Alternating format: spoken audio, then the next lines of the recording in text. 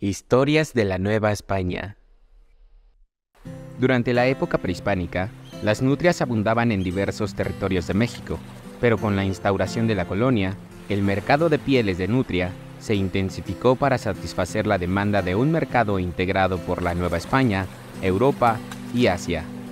Como en toda actividad comercial, el contrabando no se hizo esperar, y en 1803 arribó al puerto de San Diego la embarcación Alexander Boston. Con el pretexto de marineros enfermos y escasez de víveres, la tripulación norteamericana desembarcó. Sin embargo, al realizar una inspección, las autoridades novohispanas encontraron 491 pieles de nutrias dispuestas para su venta ilegal al comercio de la peletería. A pesar de que el capitán de la embarcación declaró haber negociado las pieles con hombres de pueblos originarios y hablantes del español, fue retenido junto con la tripulación.